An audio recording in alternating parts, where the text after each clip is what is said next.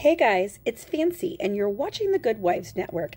And today we're going to talk about 1Q21 point microdeletion, gastroparesis, and why Gypsy Rose Blanchard's documented medical history explains not only her childhood conditions, but the symptoms she still has to this day. This isn't about belief or opinion, it's about genetics, gastroenterology, and records that don't disappear just because a story changes. These conditions require real tests and extended monitoring. These tests and procedures are in her medical records. So, we've been talking about the 1Q21.1 microdeletion for some time, but what is it really?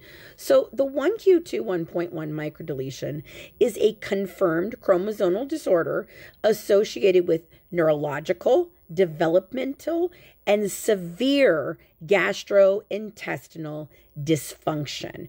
Research and clinical literature consistently document that individuals with this deletion commonly experience poor growth and short stature, failure to thrive, reported to the majority of affected individuals, hypotonia, which is low muscle tone, dysphagia, difficulty chewing and swallowing, and gastrointestinal mobility dis- disorders, including gastroparesis, as well as chronic constipation. These aren't rare side effects. These they're the core features of the deletion. There is no single behavioral or hormonal cause. This issue is systemic and neurological. So let's now talk about the gut brain connection. The autonomic nervous system controls digestion, swallowing, and gut movement. When it's impaired, as it often is in 1Q21.1 deletions, the result can be delayed stomach emptying, which is gastro- gastroparesis, severe reflux, GERD, chronic vomiting, poor nutrition absor- absorption, early satiety, constipation severe enough to require enemas, inability to maintain weight through oral intake alone, and critically, malnutrition even when food is available. This is exactly the clinical picture where feeding intervention becomes medically necessary. So, in pediatric gastroenterology, the G tube and Nissen fundoplication, I hate that word, are often performed together in children with severe reflux and feeding failure. The Nissen prevents stomach acid from coming back up the esophagus, and the G tube allows nutrition and medication to bypass unsafe or ineffective oral, oral feeding. This combination reduces vomiting, prevents aspiration, protects the esophagus and teeth, and allows adequate nutrition for growth. It ensures adequate calories, hydration, and medication delivery. This approach is well established and standard pediatric GI practice, especially in neurologically affected children. So this was all provided the other day by Becca on her last video. So if you look up here, it does show that she was receiving enteral feeding or feeding a G tube from July of 2000. She underwent G tube placement and Nissen fundoplication after extensive evaluation at Tulane Hospital feeding hospital before placement, as indicated in the doctor's letter to disability on Gypsy's behalf. Her records explicitly describe severe feeding aversion, inability to consume sufficient calories orally, gastroesophageal esophageal reflux disease, developmental delay, and neurological impairment. This was not a snap decision. It followed intensive feeding evaluations and failed oral intake. So, this letter was written in 2001, and it shows up there that this is what happened. and it's a little hard to read, so I'll read the letter for you.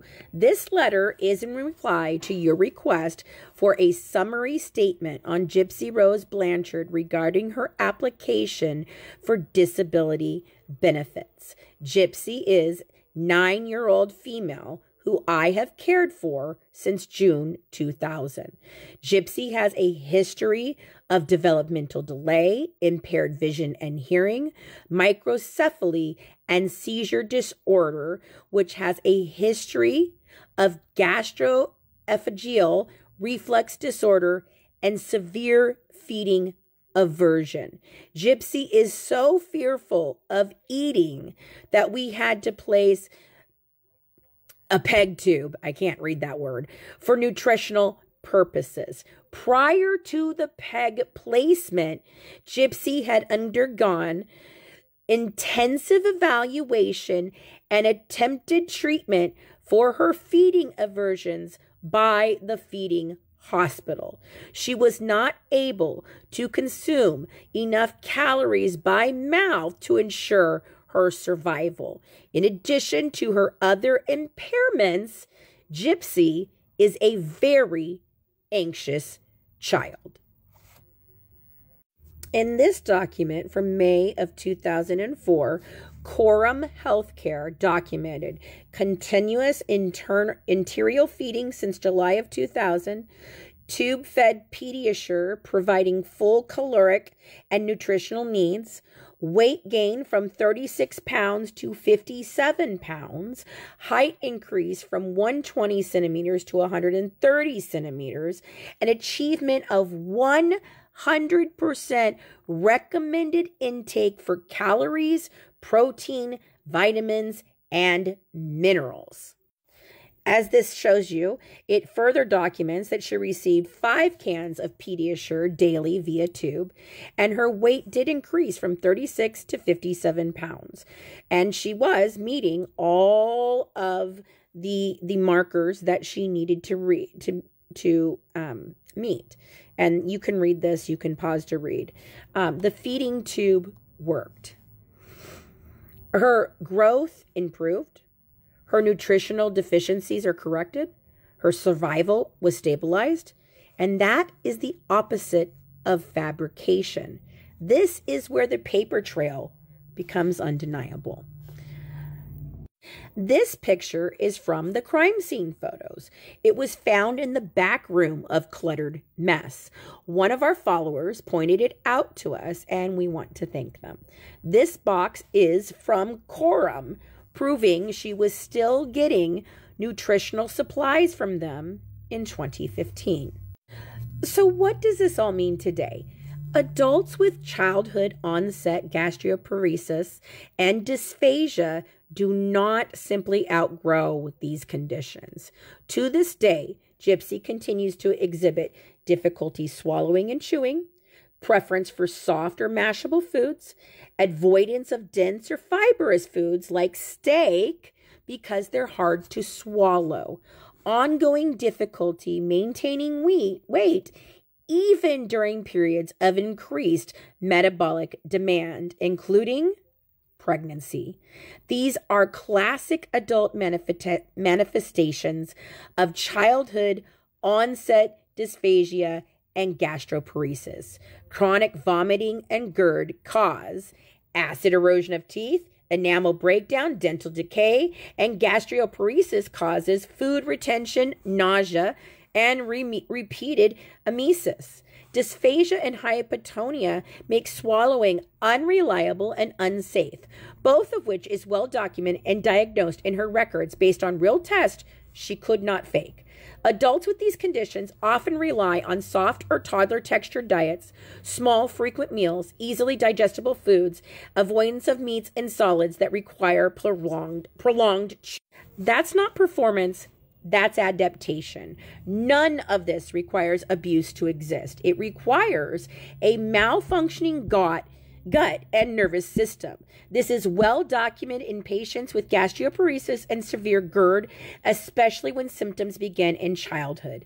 Dental deconstruction is a known complication of chronic reflux, not proof of neglect or fabrication. I'm going to end it here. We'll come back for part two where I talk to you about the barium swallow test. Have a good one from the Good Wife, serving up true crime one dish at a time.